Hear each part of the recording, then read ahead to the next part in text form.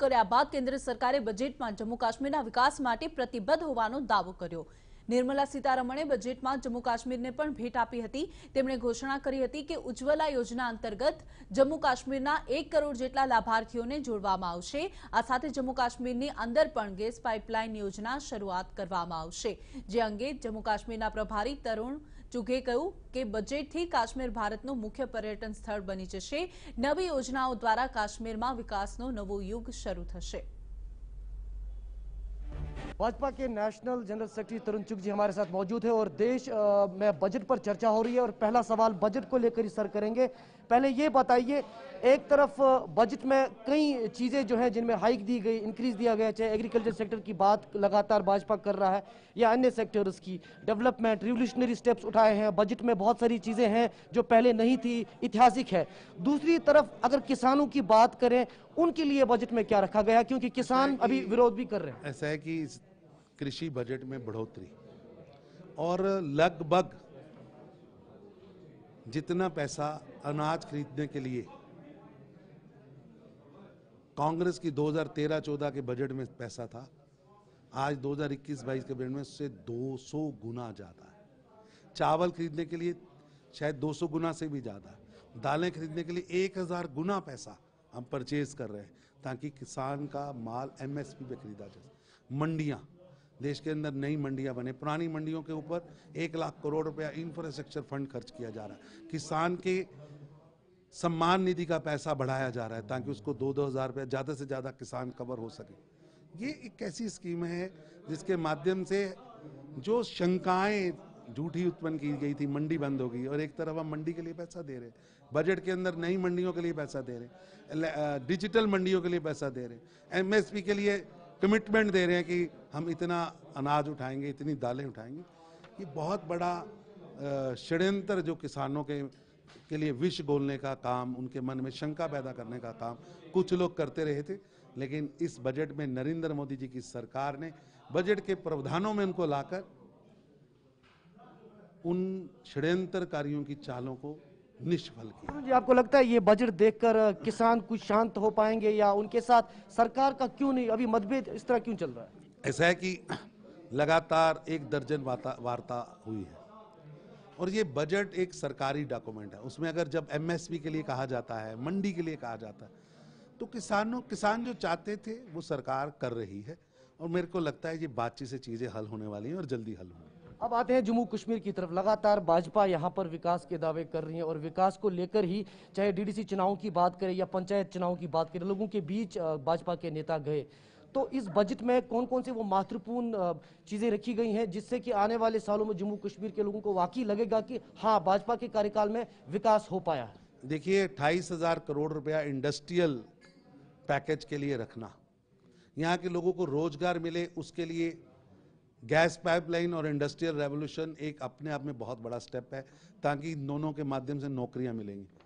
और ये खादी के माध्यम के द्वारा भी हम बहुत बड़ा रोज़गार का एक पैकेज स्टेट के अंदर लेके आए हैं। और दे, यहाँ के पूरे देश में जैसे एक प्रतिशत बढ़ोतरी अपने हेल्थ सर्विसेज़ में कही। वहीं जम्मू कश्मीर में हर फैमिली को हेल्थ कार्ड पूरे देश में ऐसा नहीं है। जम्मू कश्मीर को प्राथमिकता पे लिया गया और मैं हैरान हूँ कि 10 लाख लोगों को 10 लाख कुछ हज़ार लोगों को गोल्डन कार्ड पहुँचा है। उसमें से दस हज़ार लोगों ने 40 दिन में इलाज भी कराया है। कार्ड भी दिया है और कार्ड का प्रैक्टिकल दिखना भी शुरू हुआ है। और मेरे को लगता है कि ये जम्मू कश्मीर की गरीब जनता के लिए बहुत बड़ा स्टेप है। पूरे देश के अंदर हमने भारतमाला योजना हो या रोड इंफ्रास्ट्रक्चर हो, उसमें कटरा से दिल्ली तक की रोड हो, उसके अलावा यहाँ टनल्स हो, चाहे वो बनियाल से कांजीकुंड की टनल हो, या बाकी टनल्स पे पैसा हो रहा हो, या रोड्स के इंफ्रास्ट्रक्चर की बात हो, चाहे बारामूला से जो नई रोड की बात चल रही है, उसके लिए पैसा हो। एक बहुत अच्छी योजना प्रधानमंत्री नरेंद्र मोदी जी ने ग्रीन सिग्नल दिया है, और पहली बार 3300 करोड़ रुपया केंद्रीय बजट से जम्मू कश्मीर के बजट को दिया जा रहा है। प्रधानमंत्री आवास योजना के माध्यम से तीन करोड़ अठहत्तर, तीन पॉइंट अठहत्तर करोड़ बेनिफिशरीज को फ़ायदा दिया जा रहा है जम्मू कश्मीर में। गैस पाइपलाइन एक बहुत बड़ा इतिहासक प्रोजेक्ट है जिसके माध्यम से आप याद करिए, कांग्रेस का दौर जब लाइनें लगती थी गैस के लिए, अब घर घर पाइप से गैस पहुँचाया जा रहा है।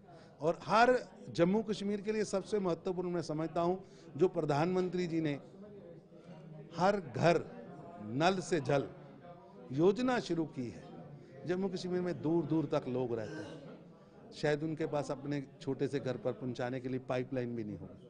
अब प्रधानमंत्री की योजना के तहत उनके घर तक के नल की पाइप, उनके घर के अंदर नल पहुँचाने का खर्चा नरेंद्र मोदी जी की सरकार उठा रही है और ये एक ऐसा प्रोजेक्ट है जो जम्मू कश्मीर के हर नागरिक को जल से जोड़ेगा और मोदी जी की योजनाएँ गरीबों के लिए और गरीबों की योजनाओं को मद्देनजर रखते हुए प्रधानमंत्री नरेंद्र मोदी जी लगातार काम कर तरुण जी, देखिए, जम्मू कश्मीर में लोगों की लगातार यही नाराज़गी रही है कि सरकार तो योजनाएँ बनाती हैं केंद्र से स्कीमें आती हैं फंड्स आती हैं। लेकिन जो डेडलाइन होता है किसी भी प्रोजेक्ट का चाहे आप मेट्रो की बात करें रेल लिंक की बात करें आप गैस पाइपलाइन की बात करिए अन्य जो योजनाएँ हैं वो मुकम्मल नहीं हो पाती है। तो क्या हम मान के चले या आवाम मान के चले कि भाजपा के कार्यकाल में ये जो योजनाएँ बनाई गई ये अपने डेडलाइन पे मुकम्मल होगी और लोगों को ये योजनाएँ निश्चित रूप से इसके लिए समय अवधि तय की गई है और मेरे को पूरा विश्वास है।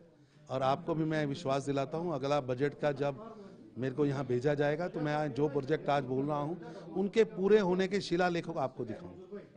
तरुण जी अब बात करते हैं जम्मू कश्मीर की कानून व्यवस्था को लेकर। जिस तरह पाँच अगस्त 2019 को धारा तीन सौ से हटाने के बाद इंटरनेट सेवाएँ खास तौर पर प्रभावित रही लगातार उसके बाद हालाँकि टू को रेस्टोर किया गया। और लगातार मांग रही कि इसे रेस्टोर किया जाना चाहिए क्योंकि बहुत सारे सेक्टर्स प्रभावित हो रहे हैं। अब जो कि इसे रेस्टोर किया गया है जम्मू कश्मीर में पोस्ट पेड कनेक्शन पर भाजपा लगातार ये कह रही थी कि अभी समय नहीं है। तो अब कैसे आपको लग रहा है कि समय हो गया और four G credit Jammu Kashmir की जनता को देता हूँ, जिन्होंने शांति, डेमोक्रेसी को चुना है। आप देखिए घटनाएँ लगातार कम हुई है और आज तो शून्य के नज़दीक पहुँचे। जम्मू कश्मीर की जनता असल में ही शांति प्रिय है। कुछ शरारती लोग काम कर रहे थे। आज उन शरारतियों पर नकेल पहुँची। आज हम यहाँ टूरिज़्म की बात कर रहे हैं, टेररिज्म पे बात नहीं कर रहे आज बुलेट पर बैलेट हैवी हुआ है। ये परिवर्तित होता हुआ कश्मीर है, बदलता हुआ जम्मू कश्मीर आगे बढ़ता हुआ जम्मू कश्मीर है। जिस जम्मू कश्मीर के लोगों का एजेंडा विकास है, आप सोचिए, कश्मीर में 9 लाख से ज़्यादा लोग वोट करने के लिए आते पहली बार। लोग आगे बढ़ना चाहते हैं। लोग विकास को प्राथमिकता पे ला रहे हैं। ये बहुत बड़ी बात है। और मैं प्रधानमंत्री नरेंद्र मोदी जी को और जम्मू कश्मीर की जनता को धन्यवाद करता हूँ कि आज 4G अगर रिस्टोर हुआ है तो जम्मू कश्मीर की जनता की बदौलत हुआ। जी एक आखिरी सवाल। आपने शांति की बात की बदलाव की बात की और शांति रही तभी 4G रेस्टोर हुआ। तो इस शांति के पीछे की वजह क्या आप देख रहे हैं और इसका क्रेडिट किसको दे रहे हैं? क्या आपको लगता है जो इससे पहले यहाँ सरकारें रहीं या रीजनल पार्टीज़ रहीं नेता रहे वो कहीं ना कहीं फ़िलहाल अपनी गतिविधियाँ नहीं कर पा रहे इसलिए शांति रही? क्या शांति की वजह क्या देख रहे हैं आप? ऐसा है कि वो तो आप बेसिक रीजन है लेकिन असल क्रेडिट यहाँ के नौजवानों को है। यहाँ के आवाम को है। आवाम ने कहा, पत्थर नहीं, माउस चाहिए, कंप्यूटर चाहिए, लैपटॉप चाहिए। अब आवाम ने फैसला किया है कि विकास चाहिए। तो विकास और आतंकवाद इकट्ठे नहीं चलते लोग यहाँ आज टूरिज़्म के लिए बात कर रहे हैं। प्रोजेक्ट लगाने की बात कर रहे हैं। तो टेररिज्म जा रहा है। मैं इसके लिए प्रधानमंत्री नरेंद्र मोदी जी को, गृह मंत्री अमित शाह जी को, हमारे एलजी जो बहुत मेहनत से यहाँ काम कर रहे हैं, सिन्हा साहब, और यहाँ की आवाम, उसको बधाई देता हूँ। थैंक यू सर तो साफ़ तौर पर इनका ये मानना है कि देश में किसानों को गुमराह किया जा रहा है और बजट में तमाम चीज़ों को मद्देनजर रखा गया है और ख़ास तौर पर गरीब आवाम के लिए ये बजट बनाया गया है और दूसरी तरफ़ किसानों के लिए भी इसमें कई जो है परसेंटेज का, का इंक्रीज दिया गया है। बजट में वही जम्मू कश्मीर के हवाले से इनका मानना है कि लोगों ने शांति बनाए रखी। इस वजह से अब 4G को रेस्टोर किया गया। लोग यहाँ पर शांति चाहते हैं।